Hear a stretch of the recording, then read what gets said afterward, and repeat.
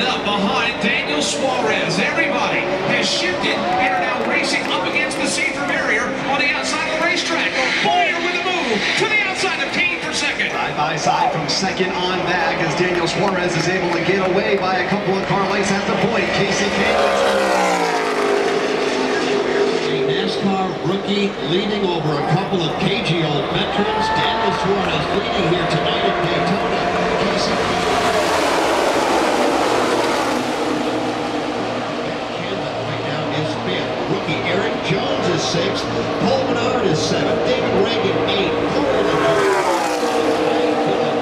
running in the tenth position. How about Daniel Suarez doing such a great job here at Daytona? We've talked so much this year about the fact that Joe Racing Cars have not won a race yet. Wouldn't it be something if the rookie out of the group was the one to break through and score the first win? Joe, it wouldn't surprise me a bit, though. I mean, this is the Xfinity champion from last year. I mean, you got to be really good to pull that off. That kid did a great job last year. That's probably the main reason he got this ride, besides Carl Edwards decided to hang his hat out.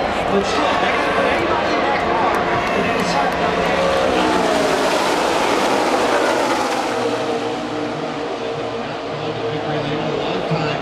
like Kasey Kahne, Kenseth, Clint Bowyer, David Ragan, Denny Hamlin. You get my point.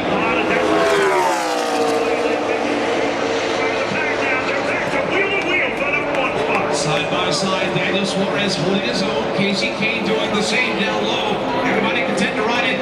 Double wide formation. High speed pace slap back at three. Kahne and Suarez at the front of the field. Kasey Kahne getting a big push on the bottom from Matt Kenseth. Kasey Kahne back to the front of the field on turn four. Very aggressive out there, Rusty. Are they getting too aggressive too early? Well, I don't know. I mean, they can tell the ring after the race is getting towards their closer, but it's going down here. Goodyear's really brought a great tire here. Got a lot of grip. The drivers are really liking it so far.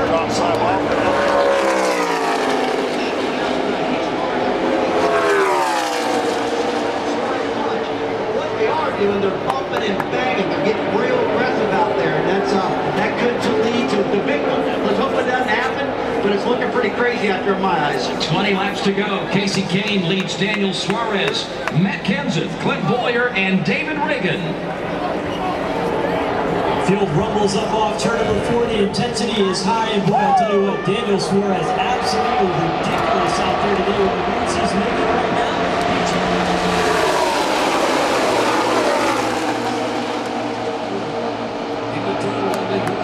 Maintaining that